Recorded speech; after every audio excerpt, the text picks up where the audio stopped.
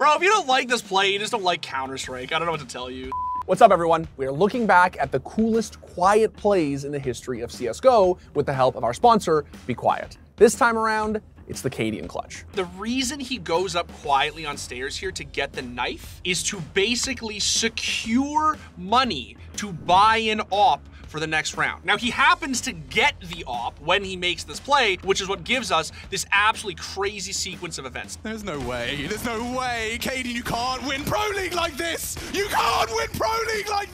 And in the span of about three and a half seconds, Cadian is in a 1v1. And at this point, he's basically just trying to clear out as many rad angles as humanly possible, considering he has 2 HP. This play right here, when he jump spots Tetris, risky as it was, that was sick. Calling well above his years, clearing corners. Oh, no! Absolutely clinical clutch. Check out Be Quiet's full lineup of products in the Amazon link in the description.